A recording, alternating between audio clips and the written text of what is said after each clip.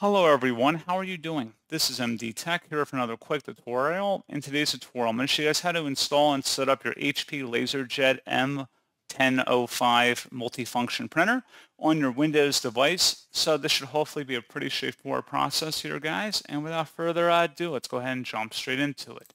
So all you have to do is open up a web browser, and you want to search for HP LaserJet M1005 multifunction printer drivers. One of the best results should be from a support.hp.com webpage here. This is HP LaserJet M1005 multifunction printer. Go ahead and open that up. And now you want to go down and select the full solution. So HP LaserJet M1005 full solution. Select download. And once that file is downloaded to your computer, go ahead and open that up to run it. And if you receive a user account control prompt, it should be from the Hewlett-Packard company, select yes, and you can close out of the web browser.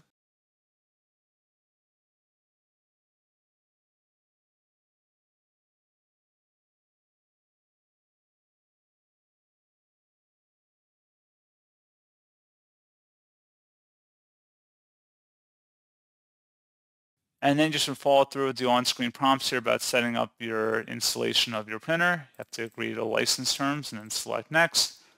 And then just continue on here.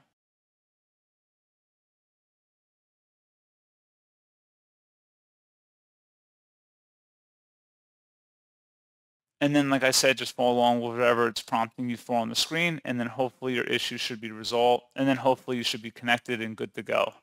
So as always, thank you for watching this brief tutorial. Do hope that I was able to help you out, and I do look forward to catching you all in the next tutorial. Goodbye.